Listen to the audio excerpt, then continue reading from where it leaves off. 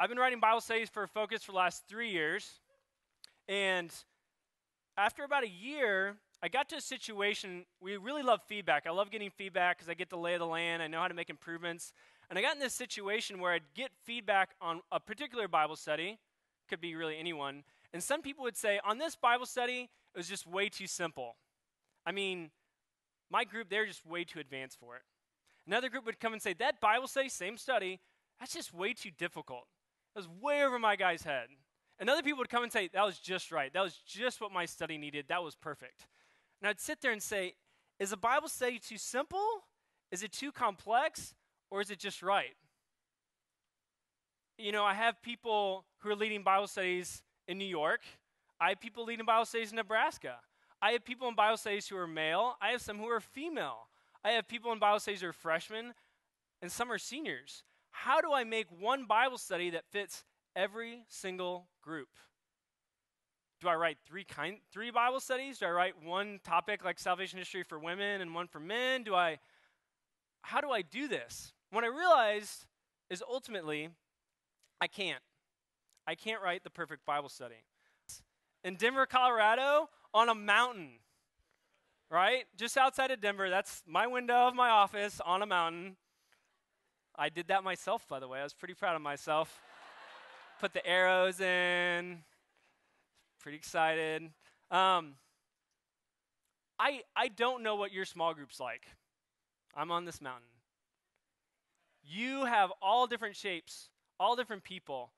From week to week, it can change. The person that knows your group the best is you. The person that can conform your Bible study to your group is you. And so I wanted to create a system to help really conform to your group. The first thing that we did was we made our Bible studies more scriptural, trying to put the Bible back in Bible study, as we say. Trying to make them more scriptural. Because the thing is, my words can't hit you like God's word can. St. Gregory the Great says this Scripture is like a river, broad and deep, shallow enough here for lambs to go wading, and deep enough there for elephants to go swimming. The writer of Hebrews says that Scripture, the Word of God, is living and active, that can cut to your very soul. Kevin Cotter's words do not cut to your soul, they're not living and active. So we let Scripture, this amazing gift that we have in God's Word, to be able to hit people on totally different levels. So we want to make each study focused on one large passage of Scripture that you can really dive into, into that river wherever you're at. The second thing we did is you still have to write questions. I still have to write discussion questions with my words that aren't living and active. And so what we did was we want to make a, uh, allow you to change those questions because you're the one there in the study that knows your group. I want you to think of yourself like a chef, right? We're going to give you the cookbook and we're going to give you the ingredients, but the way you cook those things can be very different based on your group and who you're serving for. Just like any cook, any chef is going to make a particular meal for the group that's coming, for the way they like to prepare it, right? We want to give you everything you need for the study, but don't just think that you don't need to be involved, that you don't need to be active that you don't need to cook for your audience, so to speak. That's really our goal with our study. So let's look at how to do this. This is Focus Equip. How many of you have been to Focus Equip before? Okay, fair amount. How many of you used a Focus Equip Bible study before? Okay. How many of you have edited the questions of a Focus Equip Bible study?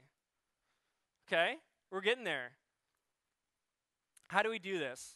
Little orientation of Focus Equip. We have start here, introduce you to the site, discover with a lot of our media, articles, uh, video, audio, get involved, connects you with all of uh, our different websites, our store, and then leader resources. So if you haven't done this with our studies before, you can go ahead and go in. Leader resources, evangelization, Bible studies, discipleship. So if you went into Bible studies and electronic Bible studies, you'd come to this page. You have our How to Lead a Bible Study series, along with the Crux, Living Gospel, and First Corinthians. So in this case, we actually, you guys, came up with questions for chapter 2 of Living Gospel.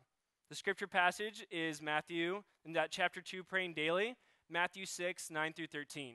So what you do is you just come in here, you click on chapter 2, and it come up with a PDF. Uh, by the way, each Bible study also has an article that goes with it if you see resources for each chapter. So, as a leader, if you're ever looking for additional material on that topic that you want to share with your group, you want to pull out of your bag if they have extra questions, that's just a quick article that you can have for your study. All right, keep going. So, here's what a Bible study looks like. Chapter 2, you're going to scroll down to the questions. That's what all the questions look like. And this might be hard to see. It's not so much seeing the text, but seeing them side by side. So you can just take on the left, it's a PDF, and just copy and paste the questions just like you would a Word document.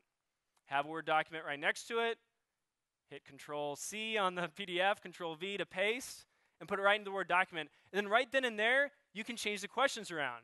So you could say, Wow, Kevin, that's a terrible opening question. It's really corny, and I don't think anyone's going to respond to that. That's terrible.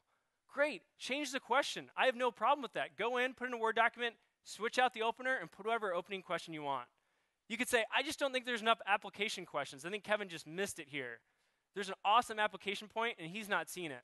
Awesome. Erase my application question and put in your own. I want you to feel like after you lead a study that you really owned it. That wasn't the material's fault. There can still be some weaknesses in it, but that you said, all right, I'm really going to sit with this. I'm going to go through it. I'm going to look at the questions beforehand and make them really fit my study so that you really can conform the study to them. Does that make sense? That makes sense? Okay. I really want you to own your studies because, again, I work on a mountain in Denver, Colorado. I don't know your study. You do. It's a big part of taking ownership over your studies. Taking that extra time. I know you're busy, but just taking that extra 15 minutes, maybe in prayer, and just looking over the passage. How does this hit me? What kind of questions do I want to ask? I think is so important. It's so huge.